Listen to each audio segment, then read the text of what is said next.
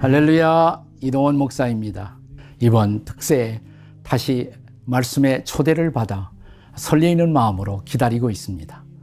우리가 살고 있는 지금 이 시대를 말씀의 홍수 시대라고 말합니다. 그러나 홍수 때 제일 귀한 것이 물이죠.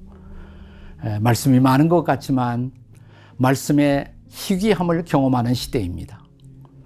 아, 성경에 보면 하나님의 말씀을 받고 말씀 앞에 제대로 응답하지 못하고 도망가던 한 선지자가 있습니다. 요나죠. 요나. 네. 우리가 말씀을 말씀답게 응답할 때 시대는 새로워지고 세상은 바뀔 수가 있습니다.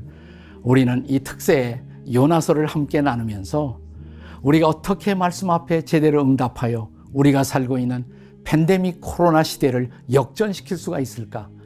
이런 위대한 과제를 같이 말씀으로 나누고 싶습니다.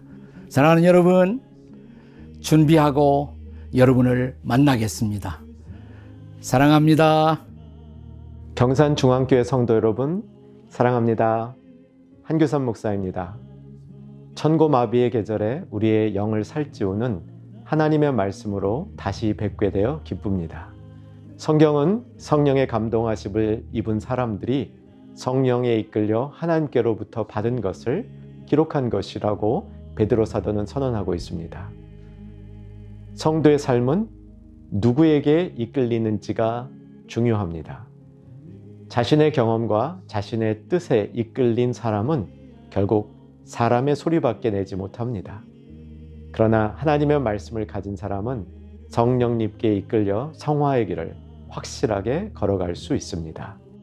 이번 가을 특별 새벽 기도회를 통해 여러분이 하나님의 말씀을 소유한 성도들이 되고 경산중앙교회가 성령님에 의해 이끌려가고 있음을 확인하는 축복의 시간이 되기를 바라면서 10월 27일, 28일 새벽에 뵙겠습니다.